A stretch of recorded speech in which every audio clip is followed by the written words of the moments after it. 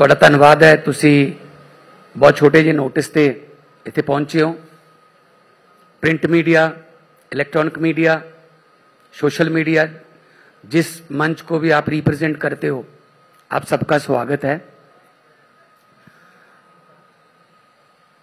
आज हम एक बहुत बड़ी अनाउंसमेंट करने जा रहे हैं आम आदमी पार्टी की तरफ से क्योंकि आम आदमी पार्टी एक नेशनल पार्टी बन चुकी है जब से हमने गुजरात में 14 परसेंट वोट हासिल किए, तब से ऑफिशियली इलेक्शन कमीशन द्वारा आम आदमी पार्टी एक नेशनल पार्टी है। और सिर्फ़ 10 साल में नेशनल पार्टी बनी है, फास्टेस्ट ग्रोइंग पार्टी है। दो स्टेटों में हमारी सरकार है। पाँच एमएलए हमारे गुजरात में हैं, दो एमएलए हमारे गोवा में हैं, सिंगौली में हमारा मेयर है, चंडीगढ़ में हमारा मेयर है एमसीडी हमारे पास है, सात हमारे राज्यसभा के पंजाब से हैं, तीन हमारे दिल्ली से हैं। तो एक बहुत अच्छी हाजिरी लोकतंत्र के सभी संस्थाओं में हमारी है। तो हमारी पार्टी ने फैसला किया है कि आने वाले दिनों में हरियाणा में इलेक्शन आ रही है। तो आम आदमी पार्टी पूरी ताकत से हरियाणा की इलेक्शन लड़ेगी विधानसभा की। क्योंकि दिल्ली में हमारी सरकार है, पंजाब में हमारी सरकार है। आधा हरियाणा पंजाब से टच करता है, आधा हरियाणा दिल्ली से टच करता है।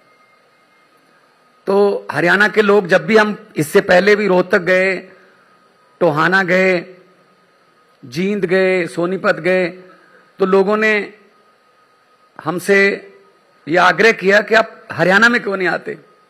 हम हरियाणा में भी बदलाव चाहते हैं, क्योंकि हरियाणा ने हर एक पार्टी को टाइम दे दिया, हर एक पार्टी को। Not only BJP and Congress local party, क्षेत्रीय पार्टियों को भी टाइम दिया, लेकिन किसी ने भी हरियाणा के लोगों के साथ वफा नहीं की। जो भी आया उसने लूटा। तो हरियाणा के लोग जो हैं, वो बदलाव चाहते हैं और सबसे बड़ी बात यह है कि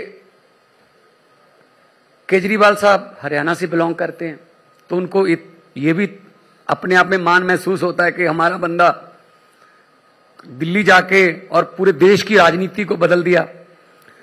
तो आ, इस, हरियाणा के इस लॉन्चिंग का आज पहला दिन है। आपके पीछे भी लिखा हुआ है, बदलेंगे हरियाणा का हाल, अब लाएँगे केजरीवाल। तो पूरी ताकत से हमने चुनाव लड़ना है।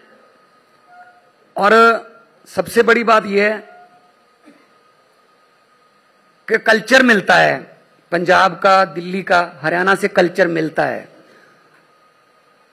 तो कुछ लोगों को दिल्ली के काम पता है और कुछ लोगों को पंजाब के काम पता है, क्योंकि ये टोहाना, जाखल, ये पूरा हरियाणा डब्बली तक वो हमारे पंजाब से टच करता है। बुड, रतिया, फतेहाबाद, कैथल तो ये पूरा पंजाब ही है, रिश्तेदारियाँ भी हैं। है ना? मैं वही तो कह रहा हूँ।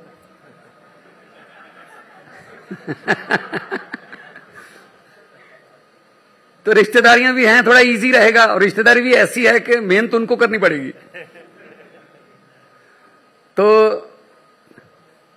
हम लोग बड़े खुश हैं इस बात से कि हमारी पार्टी जो है, वो डे बाय डे कहीं ना कहीं कोई ना कोई चुनाव होता है तो आम आम आदमी पार्टी जो है लड़ेगी। अभी जलंधर बड़े मार्जिन से जीते 60 परसेंट के लगभग 60 परसेंट वोट पड़े, जो आमतौर पे बाई इलेक्शन में होता नहीं है ऐसा। तो यहाँ भी हमने, लोकसभा में भी हमने तीन ऐसे संगरूर, हमारा जो पौने दो लाख से हमने संगरूर जीता। होशियारपुर हमने बीजेपी से सीट जो है, वो हमने छीन ली। और अनंतपुर साहब हमारी नई सीट है। और तीनों हमारे बहुत अच्छे बुला रहे हैं।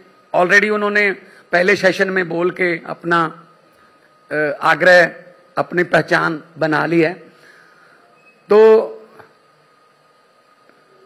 मुख्यमंत्री पंजाब होने के नाते मेरा भी फ़र्ज़ बनता है कि मैं जहाँ भी मेरी ड्यूटी लगती है पूरे देश में मैं प्रचार करने भी जाऊँगा, जहाँ भी, क्योंकि आधा हरियाणा तो पंजाबी बोलता है।